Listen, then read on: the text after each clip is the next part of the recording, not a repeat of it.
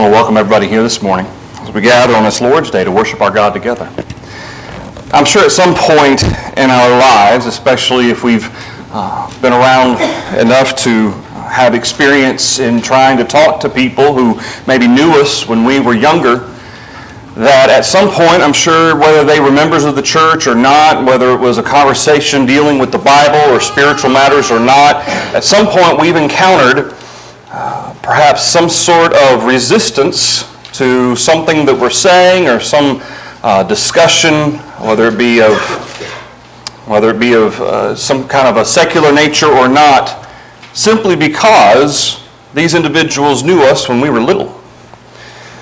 Sometimes when people see us grow up and they know who we are and who our family is and where we've been and uh, what we've done, sometimes that can have a uh, a tendency to prevent people from uh, really paying attention and really taking to heart the things that are being said. In Luke chapter 4, if you'll turn with me in your Bibles to Luke chapter 4, we have an event that takes place with Jesus as he's preaching to people in his home country. Luke chapter 4, we're going to start in verse 28.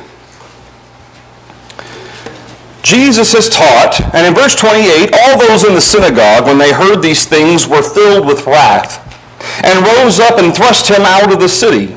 They led him to the brow of the hill on which their city was built, that they might throw him down over the cliff. Then passing through the midst of them, he went his way. Keep in mind that this is the region from which Jesus came. This is, these are people who knew Jesus when he was growing up. They knew his family. They knew his brothers.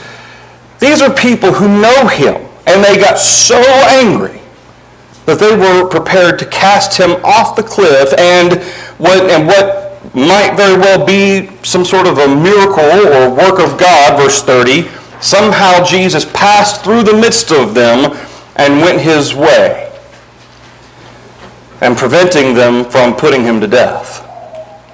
Whatever it was that he did or said upset them to such a degree. You, you tend to think that even on the one hand, perhaps some people may not pay as much attention to us or, or take what we say um, uh, seriously because they knew us when we were little, when we were growing up. But by that same token, you would think then that it would be much more difficult to get them upset it would be much harder to get them this angry. So why did the people get so upset? Why did they get so angry and mad? We're going to look at Luke chapter, we're going to look at Luke chapter 4. And we're going to notice what the context is so that we can understand why the people got so upset. Turn with me back to verse 16. We're going to start in verse 16 because this is the beginning of the context of what's taking place here in Nazareth. Luke chapter 4, starting with verse 16, talking about Christ, he came up to Nazareth, or he came to Nazareth, where he had been brought up. And as his custom was, he went into the synagogue on the Sabbath day and stood up to read. He was handed the book of the prophet Isaiah. And when he had opened the book, he found the place where it is written, The Spirit of the Lord is upon me, because he has anointed me to preach the gospel to the poor. He has sent me to heal the brokenhearted to proclaim liberty to the captives and recovery of sight to the blind, to set at liberty those who are oppressed, to proclaim the acceptable, the acceptable year of the Lord. Then he closed the book, he gave it back to the attendant and sat down. The eyes of all who were in the synagogue were fixed on him, and he began to say to them, Today the scripture is fulfilled in your hearing. So all bore witness to him and marveled at the gracious words which proceeded out of his mouth. And they said, Is this not Joseph's son? And he said to them, You will surely say this proverb to me, Physician, heal, thy, heal yourself. Whatever we have heard done in Capernaum, do also here in your country. Then he said, Assuredly I say to you, no prophet is accepted in his own country. But I tell you truly, many widows were in Israel in the days of Elijah, when the heaven was shut up three years and six months, and there was a great famine throughout all the land. But to none of them was Elijah sent, except to Zarephath, in the region of Sidon, to a woman who was a widow.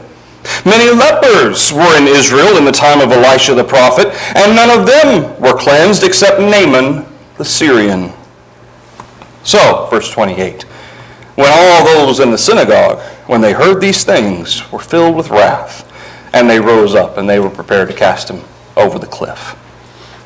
What is it in this text that Jesus specifically says to make them so angry as to be prepared to kill him? That's what we're going to talk about. We want to understand what it is, the, the point that Jesus is attempting to make with these people that they obviously got. They, they obviously got the, the point that he's trying to make to them.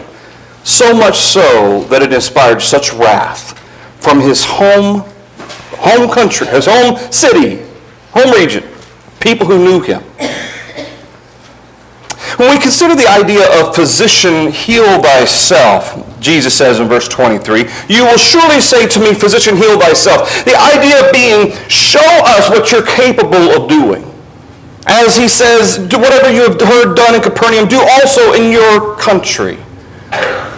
We've heard of the signs and the wonders that you've done in Capernaum and in other places. Why don't you perform those here as well? Show us your power. There's nothing specifically wrong with wanting proof. I mean, we know that Jesus' own brothers in John chapter 7, his own brothers at the beginning did not believe he was who he said he was. We know with the example of Thomas, for instance, a lot of times we call him doubting Thomas. But keep in mind that the other apostles, the other 10, remember while Judas had killed himself, though, so there was 11 at that point, the other 10, they had had the opportunity to see Jesus risen from the dead. Thomas has not had that opportunity just yet.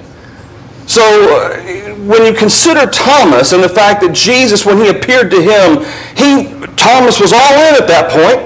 Uh, my Lord and my God. And in that text, Jesus makes a statement, You see me and believe, but blessed are those who do not see and yet believe. We also know from Acts chapter 1, verses 1 through 3, that by many infallible proofs, Jesus made himself known to the brethren after those days during the, during the time that he was walking on this earth after he was raised, before he ascended into heaven proof was given. And according to Paul in 1 Corinthians 15, up to 500 brethren at once were present when Jesus appeared to them. Proof is, there's nothing wrong with wanting something concrete to be able to base a foundation of faith upon. We have that ourselves. Our faith is not a blind faith. We base it upon the eyewitness testimony of those who were there, who saw Jesus not just alive, not just who was crucified, but actually saw him raised from the dead.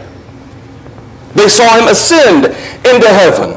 We base our faith upon their eyewitness testimony. Our faith is not baseless. There's nothing wrong with wanting proof. But what's interesting here is when you notice in Matthew chapter 12, starting in verse 38, turn with me to Matthew chapter 12 and in verse 38. Notice what takes place here. Matthew chapter 12, starting in verse 38, Then some of the scribes and Pharisees answered, saying, Teacher, we want to see a sign from you. And Jesus says in verse 39, An evil and adulterous generation seeks after a sign, but no sign will be given to it except the sign of the prophet Jonah. Jesus isn't saying that I'm, I'm not capable of showing you a sign. He's choosing not to because of the state of the hearts of the Pharisees and the scribes. They, we want to see a sign from you. You don't want to see a sign from me. They aren't going to believe. Even, in fact, there's this description of even after Jesus had risen from the dead, and the soldiers give their testimony about what had happened at that tomb, the Sanhedrin just swept it under the rug chose to ignore the implications. They said, just make sure you tell everybody that the disciples came and stole the body. Time and time again, the Pharisees and the scribes and the Sadducees, the Sanhedrin, the rulers of the people, showed a propensity to be able to ignore the greater implications of the events that took place with Jesus. Case in point, the very thing that ultimately led to the last week of Jesus' life, it started with Lazarus being raised from the dead. After that event was when the Sanhedrin put forward a major effort, not just to kill Jesus, but to kill Lazarus as well. Keep in mind, Lazarus, he had been, he, he was decomposing in that tomb. He smelled. This was something that was reported. He was dead. They don't come any deader. And Jesus raised him from the dead. That's proof. That's a sign. And yet the Sanhedrin and the rulers of the Jews, the scribes, the Pharisees ignored it. That's what they, they, they showed a, a knack for being able to do that. So when Jesus responds here in verse 39, he is describing not the people at large. I mean, he offered signs of miracles. He healed people. But with regard to the heart of those who are asking, we seek a sign. And adulterous generation seeks after a sign. You will not have a sign except for the sign of the prophet Jonah in reference to the three days that he would spend, Jesus would, in the ground and then be raised. In Matthew chapter 13, Matthew chapter 13, this is the passage that Ben read for us a few minutes ago. Matthew chapter 13 and in verse 53, it came to pass when Jesus had finished these parables that he departed from there. When he'd come to his own country, he taught them in their synagogue, and they were astonished and said, Where did this man get this wisdom and these mighty works? Is this not the carpenter's son? Is, his, is not his mother called Mary and his brothers James and Joseph and Simon and Judas and his sisters, are they not all with us? When, where then did this man get all these things? So they were offended at him. We know, based on the text in Luke chapter 4, what it was that Jesus said that offended them, although we haven't covered yet why they were offended. But we know what it was he said. They were offended at him, but Jesus said to them, A prophet is not without honor except in his own country and in his own house. Now he did not do many mighty works there because of their unbelief. Because Jesus couldn't do many mighty works? No. Because it wouldn't have done any good. See, the signs and the miracles that Jesus performed, and even going forward with the apostles, they were for a purpose. They were to confirm the word of those who were preaching and teaching. In this case, with Jesus, these miracles served the purpose of confirming he was the Son of God. In fact, we covered a couple weeks ago about Jesus emphasizing his own authority.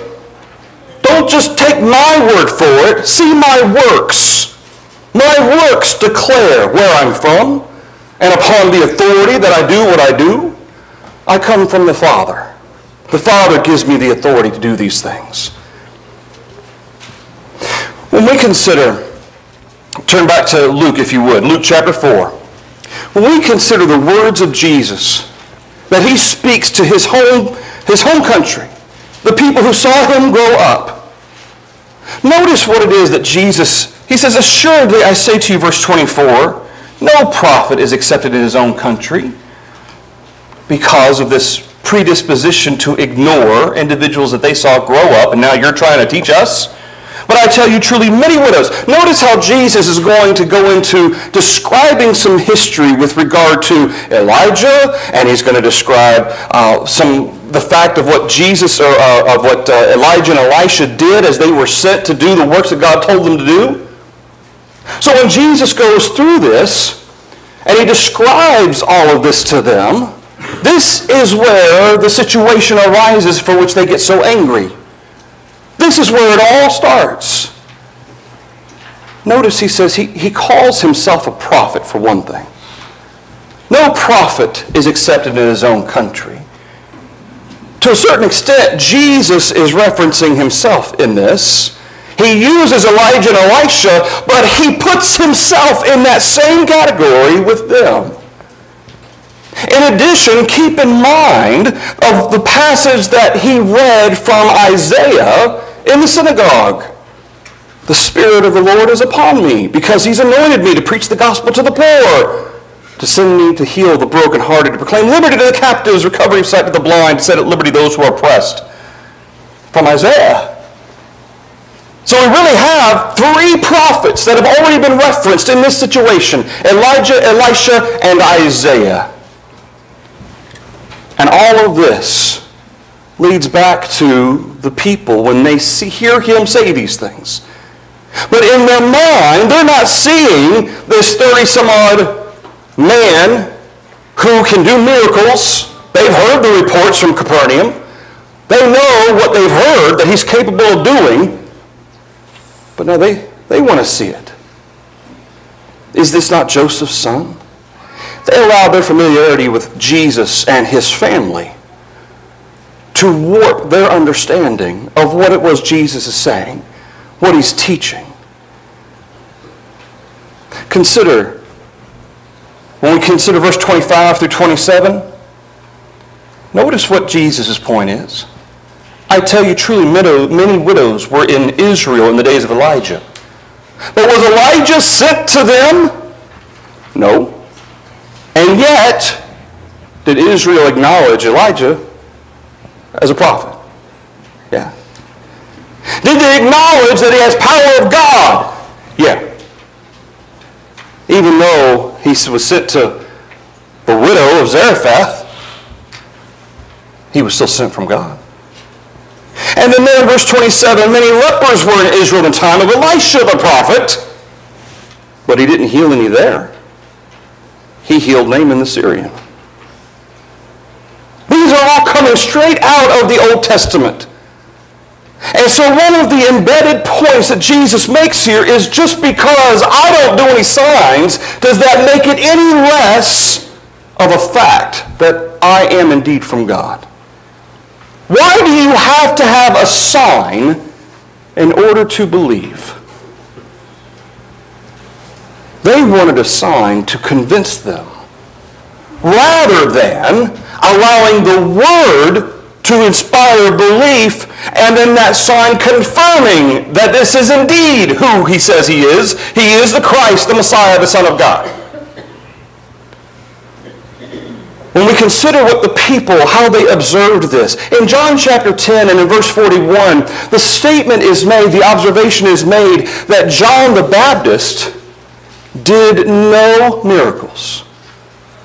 He didn't do any miracles, and yet all of the people acknowledged him as a prophet. A prophet. He did no miracles. So upon what did they base their judgment of John the Baptist as a prophet? His words his wisdom, his teaching. Why can't Jesus fit in that category too? You've got Isaiah, you've got Elijah, you've got Elisha, you've got John the Baptist, they're all prophets. But in these situations did they perform miracles in Israel? No. Yet they were still received based on what they said. Or acknowledged as prophets based on what they said. A lot of times they were rejected. Jesus in this case, oh, do a miracle, Jesus. Show us your power. But is that enough to cause the people to react the way they did in verse 28, 29, and 30? Is it enough that Jesus says, you guys want a sign, but, but you really need to pay attention to the words I'm saying? It shouldn't take signs for you to understand and, and believe. Is that all it was? Or is there more to it? It's interesting Jesus mentions Capernaum because Capernaum isn't a part of Israel. Capernaum was a Samaritan city. When you consider the fact that Jesus had done these works there, but he won't do them among his own people. And then he mentions Elijah and Elisha. There is a specific point embedded there that the people immediately got. He's recognizing Elijah and Elisha who did miracles for Gentiles. And yet they were rejected by their own people.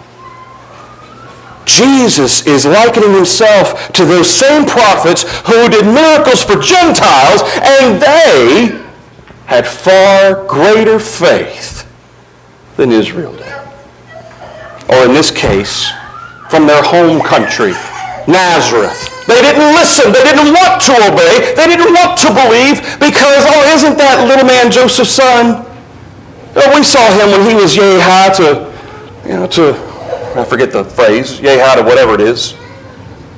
They remember him when he was growing up. And because of that predisposition of thought, of, of mind, of attitude, they refused to listen to what he said. So what difference is it going to make if he does a miracle? What difference does it make if he shows a sign? They're not going to believe. That's why Matthew chapter 13 goes into he did not do many mighty works there because of their unbelief. It wasn't because he couldn't. Because that wasn't, that's not the purpose of those works. It's not the purpose of the miracles. To inspire uh, people to, in order to believe when they obviously just wanted to be, to see these wonders. It wasn't going to do anything. It wasn't going to confirm in their mind that he was who he said he was. And here in verse 28, when they react, when they hear these things, they're filled with wrath. Why? Because they couldn't contradict him. Jesus is quoting the Old Testament. Yeah, it happened. Did God send him to these Gentiles? Yes, he did. Did Israel accept Elijah and Elisha? No, they didn't. The same thing's happening now. And immediately they were convicted. And instead of reacting in an appropriate way, instead they reacted in anger, as time and time again, human beings have shown themselves naturally to want to do. To react emotionally, to react in an angry way. They wanted signs. They had no intention of paying attention to what those signs meant. That's what Israel did. That's what the Sanhedrin did time and time again. Sign after sign after sign. And yet the implication of those signs completely lost on them.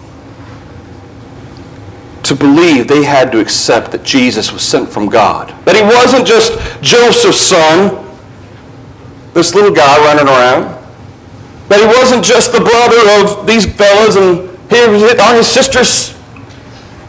No, this, this fellow was sent from God. He's the Messiah. He's the Son of God.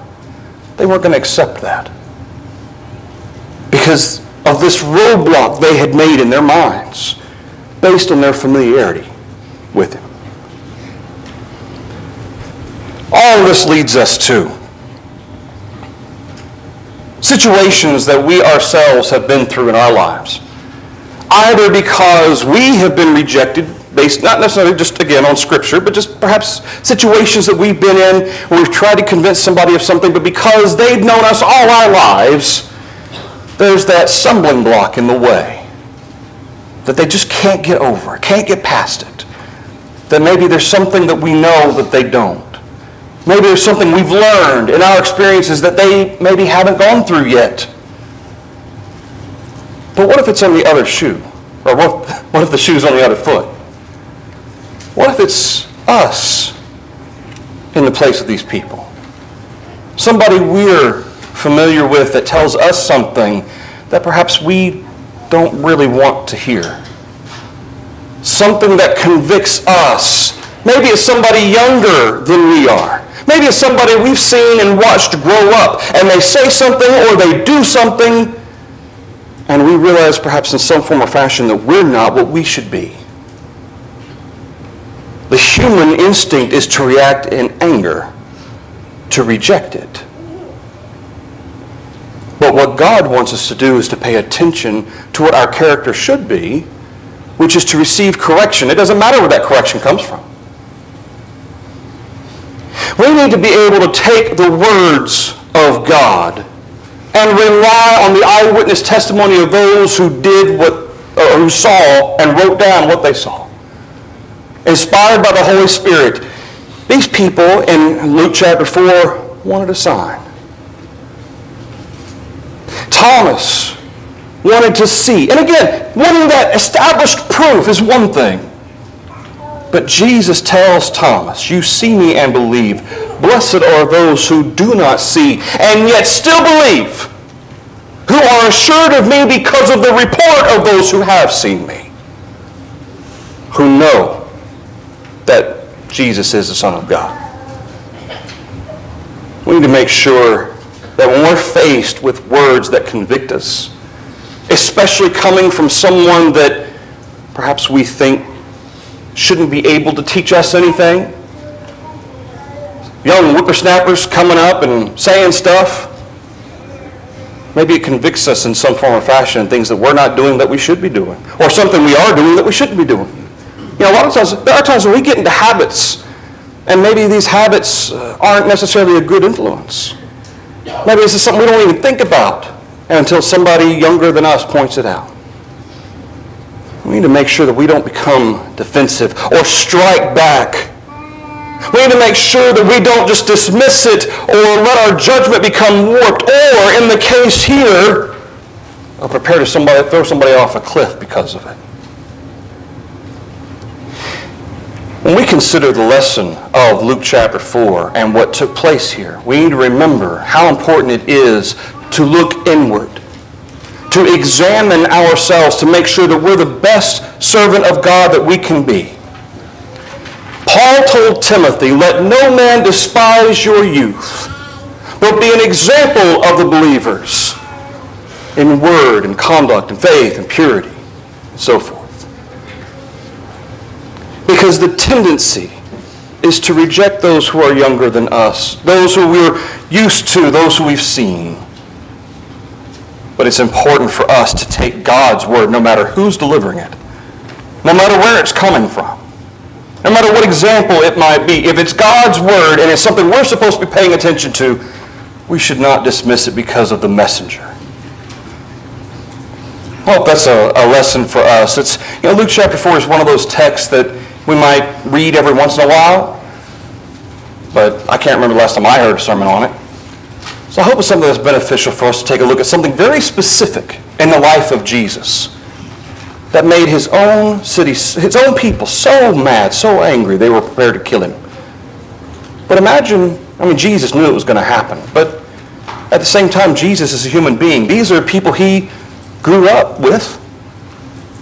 And here they are prepared to kill him simply because he was telling the truth and teaching God's word. It's important that we're prepared, no matter what, to listen to what God's word has to say, to make application in our lives.